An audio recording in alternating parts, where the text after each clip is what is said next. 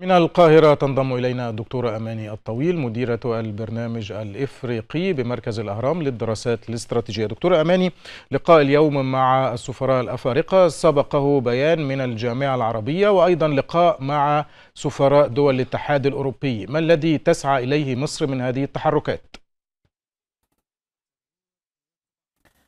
تسعى إلى تكثيف الضغوط على إثيوبيا عبر التحركات الدبلوماسية مع كافة الأطراف الفاعلة.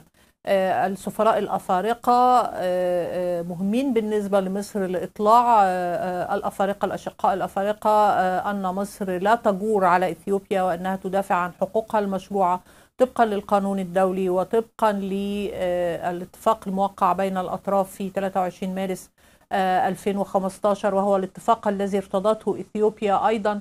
أظن أن وزير الخارجية المصري السيد سامح شكري قد أطلع السفراء الأفارقة والأوروبيين على مسارات مباحثات واشنطن والمسودة التي تم التوافق عليها وكان مطلوبا التوقيع عليها لولا الانسحاب الإفريق الإثيوبي. اذا أرى خطوات الخارجية المصرية في إطار تكثيف الضغوط على إفريقيا وتوضيح موقف مصر لكل الفاعلين الرسميين سواء في أوروبا أو في إفريقيا فضلا على يعني التواصل مع الإدارة الأمريكية الذي حدث سواء داخل في إطار المباحثات خلال الشهور الماضية وخصوصا خلال الاجتماع الأخير أو عبر القنوات الدبلوماسية المعروفة. البيانات الإثيوبية حول التوقيع بأنها تحتاج إلى فترة من الزمن، هل هذا رفض دبلوماسي أم أنها فعلا ستعود بعد أن تحدد هذه الفترة الزمنية؟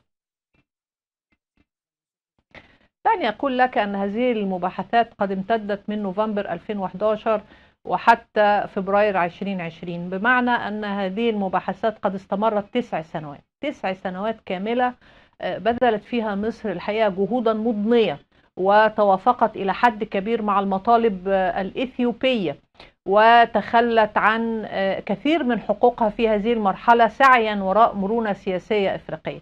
الحديث عن الوقت أنا أظن أنه لا يحق لإثيوبيا على الإطلاق الحديث عن الوقت لأنها قد استغرقت تسع سنوات وكان أمامها وقتا كافيا لبلورة توافق داخلي حول مطالب الأطراف الإقليمية الأخرى كمصر والسودان في سد النهضة. صحيح أن السودان يعني تراجعت عن تأييد بيان الجامعة العربية لكن الحقيقة أن السودان مهددة فيما يتعلق بسلامة الإنشاءات الهندسية على نهر النيل.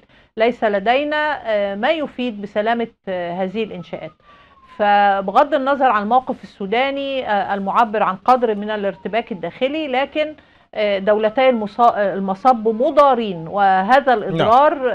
يعني لا لا, لا يتوافق مع قواعد القانون الدولي ولا الأعراف الدولية ولا اتفاق المبادئ. إلى أي مدى هناك إصرار من واشنطن على حل هذا الخلاف؟ يعني دعني أقول لك أن هناك إرادة سياسية أمريكية معقولة لا أقول أنها حاسمة ولكن معقولة في هذه المرحلة لأن أنا أتصور أن رد الفعل الأمريكي أو التفاعل الأمريكي مع الموقف سيكون خطوة خطوة أو step by step طبقا لطبيعة ردود الفعل الإثيوبية. صحيح أن ردود الفعل الإثيوبية حتى الآن هي ردود فعل عصبية للغاية أحدثت تراشقا مع الإدارة الأمريكية لكن أتصور أنه مع طبيعة يعني طرح الموضوع على هذا المستوى سواء على المستوى الدولي أو الإقليمي سوف يجعل إثيوبيا بالتأكيد تعيد حساباتها في هذا الموقف وهو ما نتطلع إليه الحقيقة لأن إحنا لا نريد على الإطلاق أن يتهدد الاستقرار الإقليمي أي شيء وأن تظل دول حوض النيل الأزرق مصر والسودان وإثيوبيا تعلي من قيم التعاون ومن قيم الإخاء والرغبه المشتركة في تنمية يعني الدول لصالح رفاه الشعوب. الصراعات دائما يعني المضارين نعم. منها بشكل أساسي هم الشعوب. مستويات الفقر في دولنا الثلاثة عالية جدا. نحتاج إلى تحسين حياة الناس ولا نحتاج إلى صراعات. دكتورة أمان الطويل مديرة البرنامج الإفريقي بمركز الأهرام للدراسات الاستراتيجية. كنت معنا من القاهرة. شكرا لك.